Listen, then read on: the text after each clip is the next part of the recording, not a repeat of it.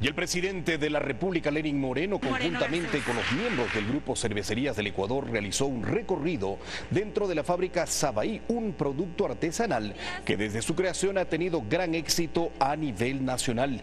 Los empresarios de cerveza artesanal agradecieron el apoyo del gobierno y en el sector productivo de micro y pequeños empresarios debido a que se ha eliminado el impuesto a la renta de igual manera.